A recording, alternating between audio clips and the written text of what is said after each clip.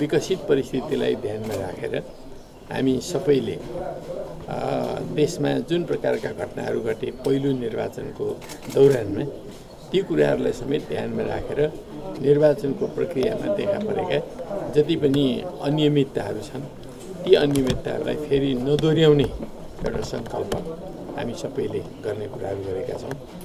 र आउने जुन निर्वाचन छ चौध गतिको निर्वाचन त्यसलाई कुनै पनि ढङ्गले कुनै पनि अर्थमा तलमाथि नगरिकन त्यही दिन शान्तिपूर्ण ढङ्गले भयरहित वातावरणमा निष्पक्षताका साथ त्यसलाई सम्पादन गर्ने नयाँ सरकारले त्यो कुराहरूमा हामीले सहमति गरेका छौँ। र त्यसरी नै अरू दुईवटा जुन निर्वाचनहरू छन् प्रदेश र अनि त्यस पछाडि राष्ट्रिय स्तरको निर्वाचन सङ्घीय निर्वाचन ती निर्वाचनहरूलाई पनि समयमै सम्पन्न गर्नुको लागि सबै एकताबद्ध भएर लाग्ने। सरकारले राज्य संरचना अरू सम्पूर्ण संरचनालाई निष्पक्षताका साथ प्रयोग गर्ने र निर्वाचनलाई सफल पार्ने कामहरूमा दृढतापूर्वक लाग्ने। त्यो कुरामा पनि हामीले सहमति गरेका छौँ।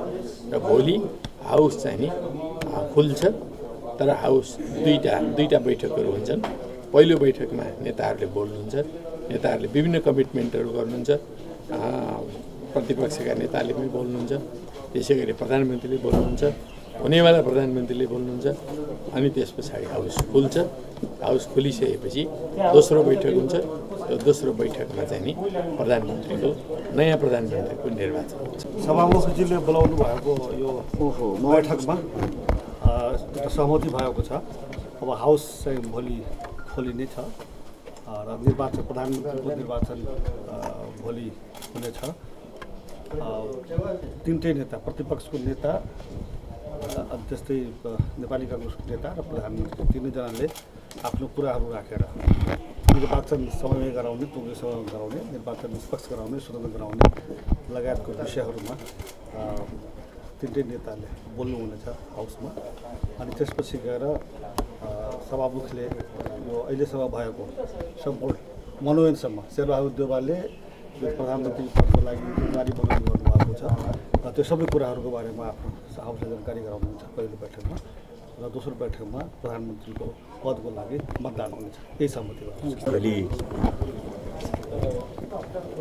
को सदनमा प्रधानमन्त्रीको निर्वाचन कार्यक्रम अगाडि बढ्नेछ र भोलि राष्ट्रले नयाँ प्रधानमन्त्री प्राप्त गर्नेछ। त्यस क्रममा भोलि प्रारम्भमा तिनटै प्रमुख पार्टीहरूको नेता सम्माननीय प्रधानमन्त्री सहित प्रधानमन्त्रीको उम्मेदवार र प्रतिपक्षी दलका नेताले संसदलाई सम्बोधन गरेर राष्ट्रलाई संविधान क्रियान्वयनको प्रक्रियामा अगाडि बढाउने निर्धारित समयमा निर्वाचन गर्ने भनेर भन्ने? कुरा चाहिँ अगाडि बढाउनु हुनेछ र अनि प्रधान दोस्रो सेसनमा प्रधानमन्त्रीको निर्वाचन